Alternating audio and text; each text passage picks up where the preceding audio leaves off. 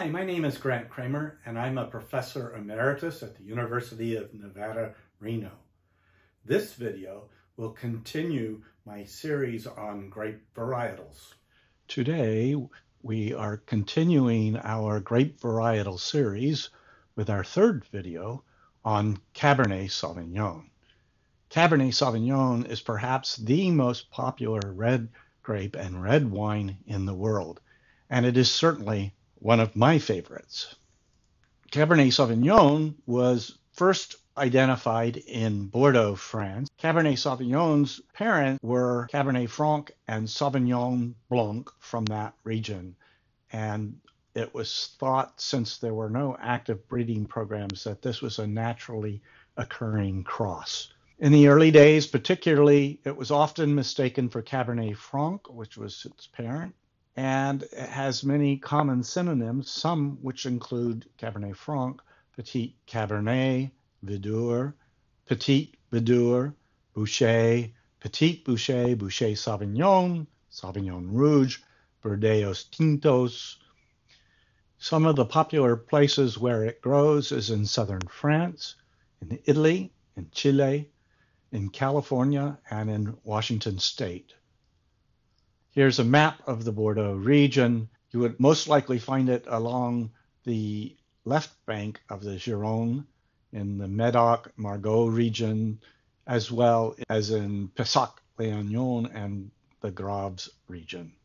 Cabernet Sauvignon likes moderately warm climates with growing degree days of about 2500 to 3500 warm days and cool nights are ideal. Napa Valley, I would say, is is nearly an ideal location with the cool sea breezes coming in in the evening to cool down the fruit.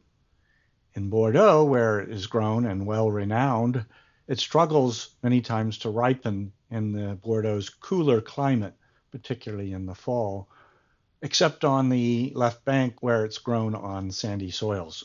Too cool a climate produces an herbaceous bell pepper character made from compounds called methoxypyrazines, which are indeed part of the green bell pepper. Also, if you have too warmer conditions, you get fruit that's lacking varietal characters. We'll talk more about the fruit qualities in a little bit. In this picture on the right, you can see some 125 year old Cabernet Sauvignon vines that were in front of the Montes winery in Chile when I visited there. Cabernet Sauvignon is an extremely vigorous vine. It has prolific lateral shoots. Its leaves have five lobes with deep sinuses and serrated margins. Its clusters are small and often winged. And its blue black berries are small and round with thick skins, making for good extraction of color and tannins out of the berries. It can produce six to seven tons on average per acre on flat, fertile soils, and three to four tons per acre on hillsides or shallow soils. It needs well drained soils and is grown usually with a vertical shoot positioning system. It has mid to late bud break, it's mid to late ripening as well. On the right here, you can see the gravelly soils of the Graves region in the vineyard of Chateau Smith Haut Lafitte. Our production and quality in northern Nevada is somewhat tainted in the sense that we used Clone 8 at our Valley Road Field Experiment Station. I chose Clone 8 because it was at the time the most popular Cabernet Sauvignon clone being grown. I did not know at the time that it was also considered a late maturing Cabernet Sauvignon vine. And therefore, the results that we have are due to this highly productive but late maturing clone. So our season ranged from May to the middle of October. We never got our Cabernet Sauvignon grapes ripe before October 15th. And often we would get frosts before that in the last week of September or the first week of October. So the fruit would never really fully ripen and it would have a green herbaceous character because that herbaceous character disappears, the methoxypyrazines disappear as the grape ripens more maturely. So earlier harvested grapes will have a greater amount of bell pepper character in it. The Brix generally was only up to about 22 for our well watered vines, but when we drought stressed them, it accelerated the sugar development in our vines and we could get up to 24 Brix in some cases. The TAs range from 5.5 to 8, depending on the year. And it was clear that the fall frost season was our major limitation to fully ripening these grapes. They otherwise were doing well in the region. So the grapes rarely matured enough for good quality wines.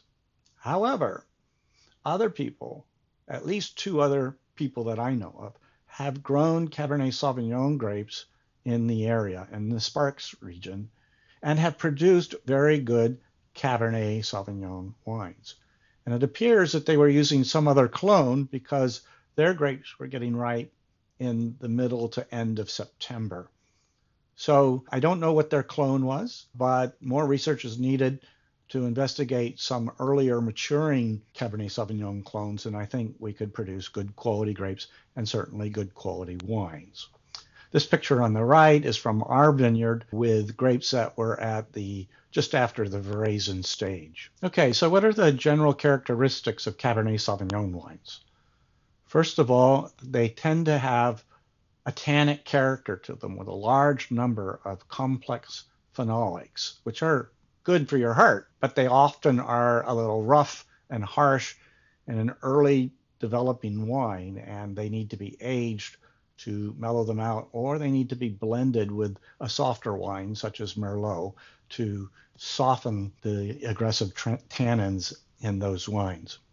It marries well with oak, which helps to soften the wine and add additional complexity. The fruit flavor descriptions for Cabernet Sauvignon are black currants, violets, blackberry, black cherry, which is one of my favorite characters of a good Cabernet from the Napa Valley, and green bell pepper.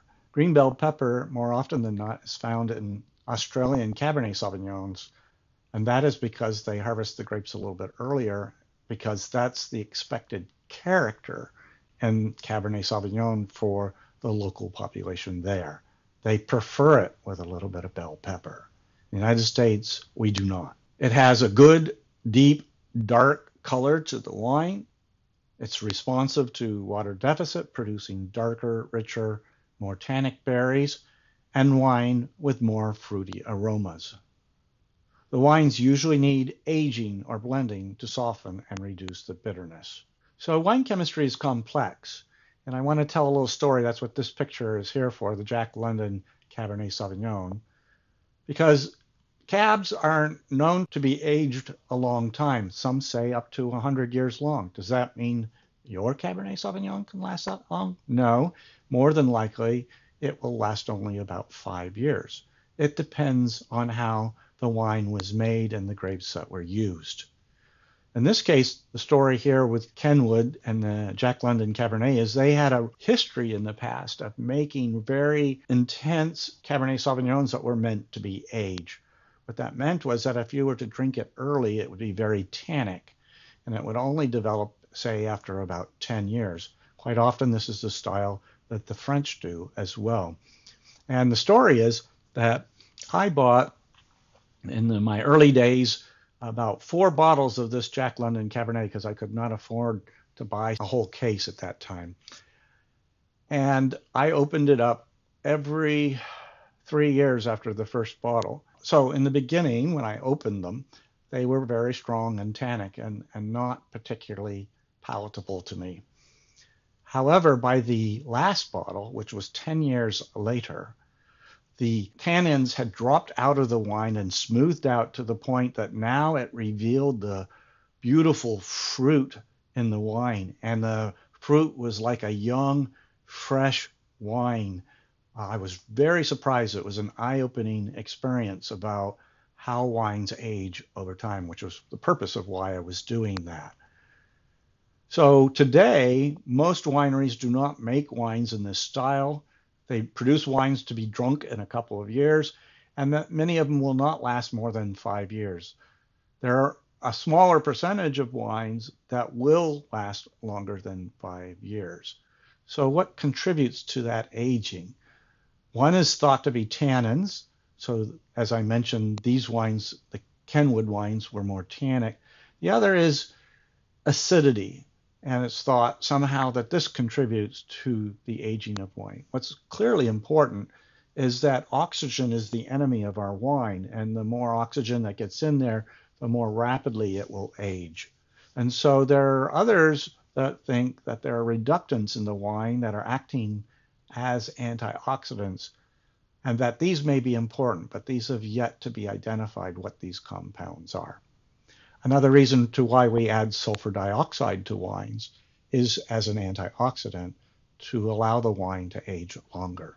So there are quite a few clones of Cabernet Sauvignon in the Foundation Plant Services registry. So they have 60 plus selections, registered selections for California, both from the French ENTAV clones to the Californian FPS clones from vineyards within California or from elsewhere. So, in a study by Jim Wolpert, he had done a large study of about, hmm, I don't remember exactly, 12 to 15 clones. So, certainly not all 60 clones, but they were grown in a scientifically designed, experimentally designed plot, which allowed them to evaluate and compare the clones from all sorts of yield characteristics and basically, in terms of total amount of grapes that were produced or volume of grapes, it was found that the FPS clone 14 was greater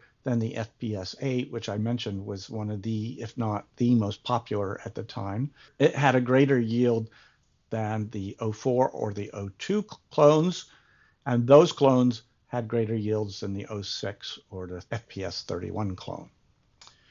The difference in yield was largely associated with the number of clusters on the vine and the number of berries per cluster.